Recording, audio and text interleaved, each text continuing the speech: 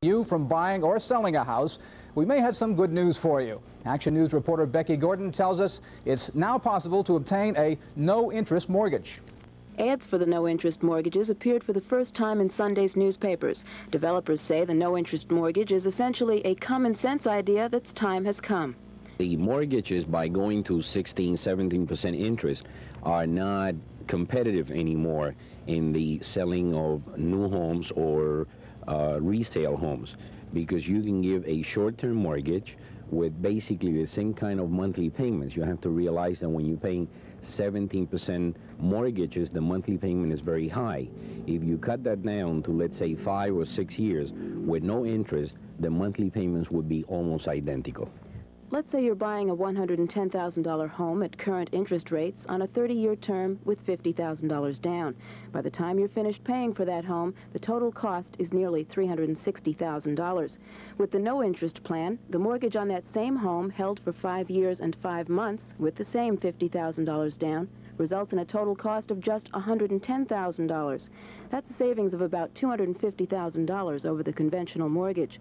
Although payments in this instance are about $70 a month higher on the no-interest mortgage, proponents say it will probably appeal to about 25% of the people currently looking to buy homes. People that have sold a house that they own for, let's say, five or six years, and they have anywhere between 25 and $50,000 for down payment. Becky Gordon, Action News, Dunedin. Well, the no mortgage interest is, or the no interest mortgage is just one of the ways the housing industry is trying to make buying a home more affordable. With us now is Buzz Rommel. He's Vice President of the Florida Federal Savings and Loan.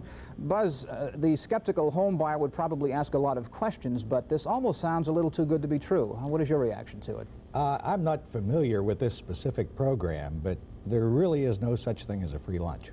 Uh, money is extremely expensive, and there are a lot of different plans available today, and more and more becoming available every day for home financing.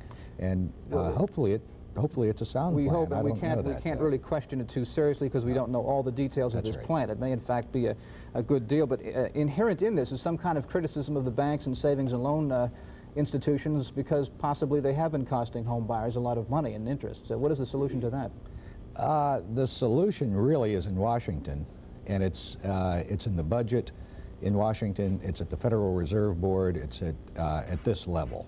Is this a threat to banks and to savings and loan institutions, this type of uh, non-bank, non-savings and loan generated package? Uh, I don't think it is really because there, there's too much of a demand, and if someone else can help fill that demand in addition to the banks and savings and loans, I think it uh, is a very positive approach. Uh, right now, I, I do believe the banks and S&Ls are doing the best that they can do uh, under the circumstances that are inflicted upon them. Okay, Buzz, thank you very much for joining us. Buzz Rommel, Vice President of Florida Federal...